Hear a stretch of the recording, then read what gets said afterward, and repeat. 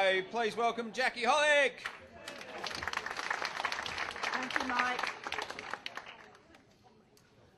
Okay, I'm just going to share with you in the next probably 10 to 15 minutes just the background that we've been through since you're quite right, Mike. From 2009 was when we started with the Positive Behaviour Framework in Western Australia.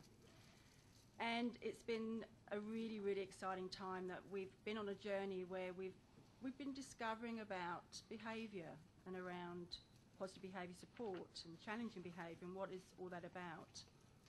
And very early on, we did realise that we often get stuck looking at the behaviour when we talk about challenging behaviour, and we think that we need to fix behaviour. And we learnt very quickly that if you concentrate on the behaviour, you're going to lose sight of the person. So what we need to concentrate on is the person and meeting people's needs. And quite quickly, you don't have to worry about the behaviour. And that's something that we learned really quickly from the very beginning.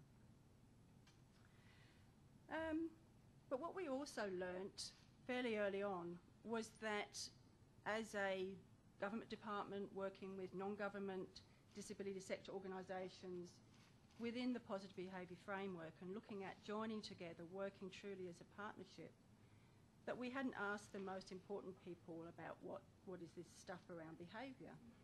And that was people with disability and their families. And so again, we realised that we needed to be talking more to people who are experiencing challenging behaviour because they, they basically were the experts in, in what happens with this stuff.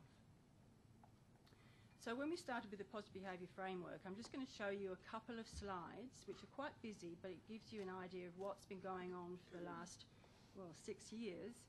Um, around the beginning, we didn't really engage that well with families, and we, we were really slow, and Ron was quite right. It takes a long time, but I think we were quite slow at the beginning because we hadn't got everybody at the table.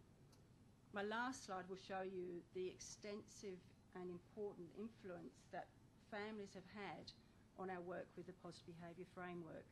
And I believe that it's essential that that continues into the future.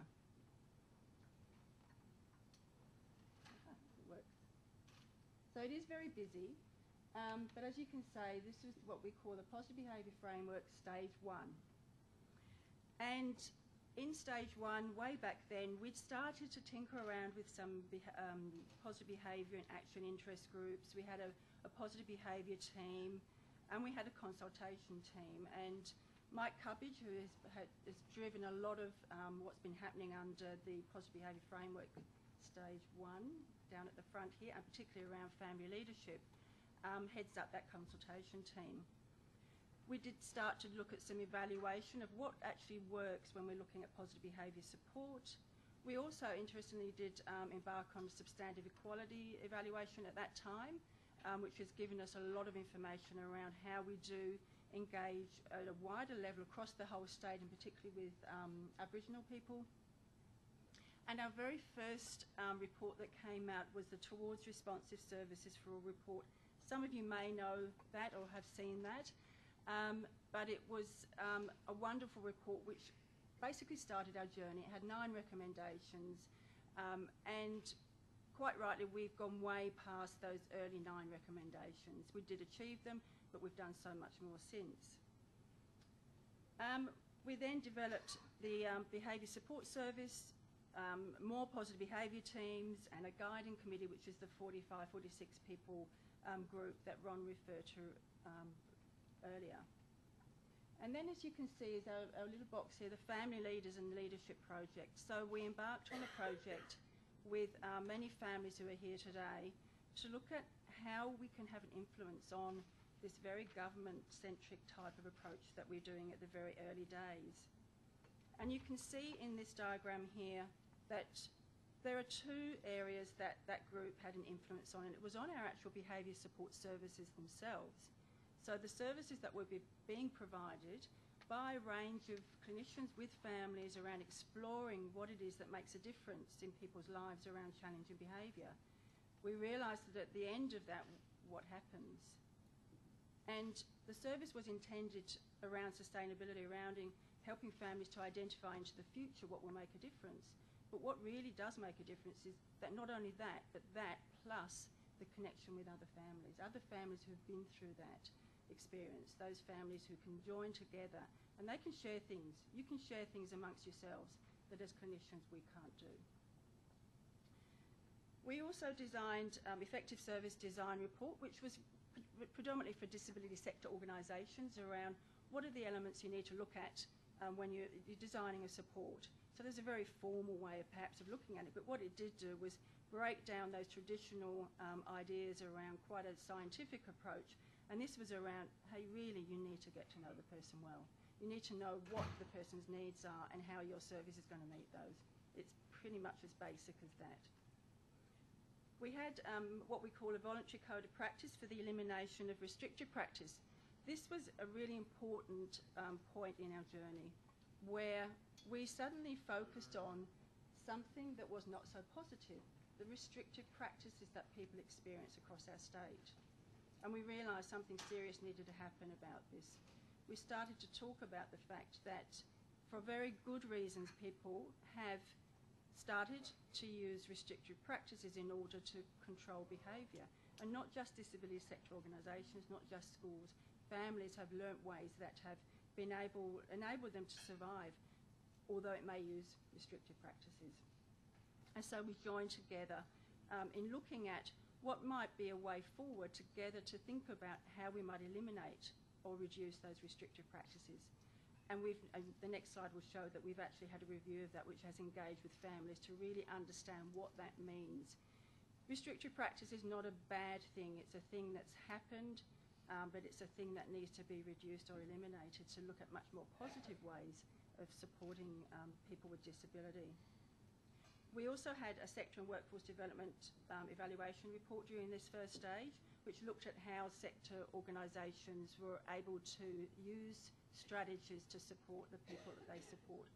But probably one of the most important things that came out of this first stage was the side-by-side project. And there's, there are very, many families here that I can see who are a strong part of that first project. And you'll hear more about the side-by-side project later, but it was a really innovative way of bringing um, families together to be able to support each other. So this slide is our next stage, basically stage two up until now, and you can see the strong influence that families have had in all the work that's happening under the um, positive behaviour framework. So we basically have um, some of the disability sector organisations have a consultant group. Um, so they meet to share ideas, and again, it's very much a joint approach. We expanded some of the workforce development work into a regional area down in the southwest and lower Great Southern to again look at what are the elements in disability sector organisations that are going to be important to improve people's lives. And we also have embarked on an evaluation of what are the elements that are required in services um, to make a difference. But as I said, the important stuff is this stuff on the right around where families have um, have walked alongside us, I suppose, in looking at some of these um, areas. You may have, um, have already heard or seen um, the Is There a Better Way training and some of the more than talking training. Um, this is part of some of the training that's been around. I suppose initially the Is There a Better Way was set up, I think, as a, um, a training program for the code of practice. So that was a, a very formal way of looking at how we might share the code of practice across the state. But it grew, I think, and changed quite dramatically as time went by. And I believe mainly families now really go to the Is There a Better Training, um, Is There a Better Way training. Initially, it was families alongside service providers.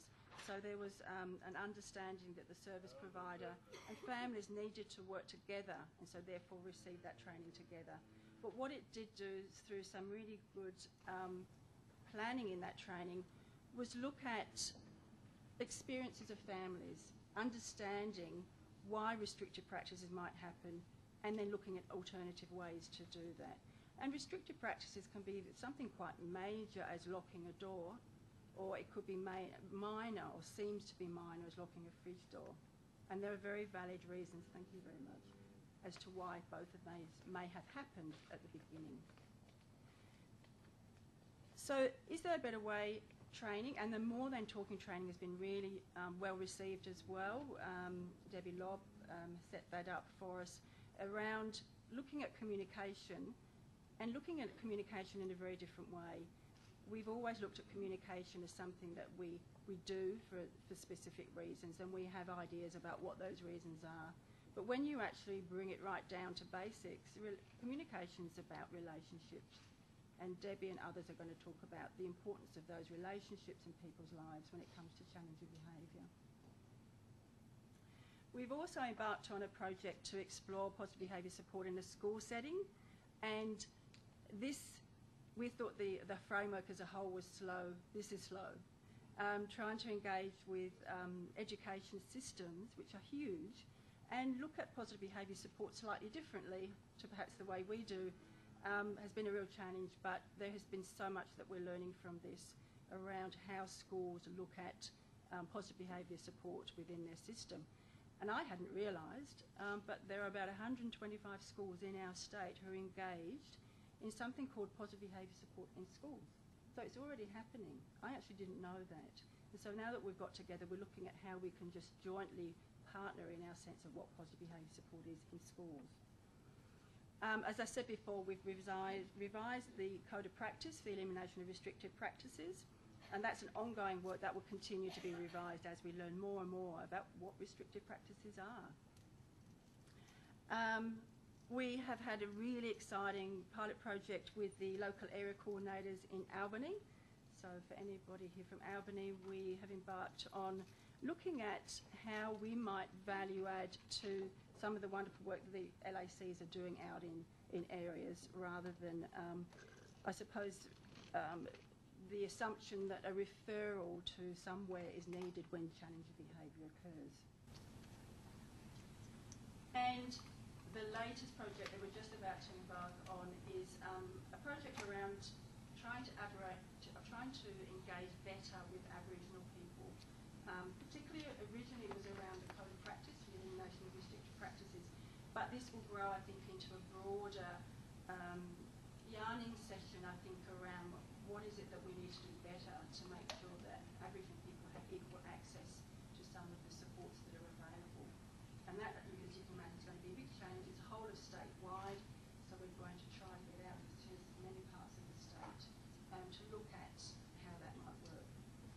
think for me the reinforcement here is when I was looking at the work that we've been doing over the last six years, that this second slide shows that the importance of family leadership, family connection, um, and people with disability is going to be our strength into the future. So I'm so pleased to see so many people here. I'm privileged to be here working with people that we know that we really do need to learn from. So I hope you enjoy your, your two days.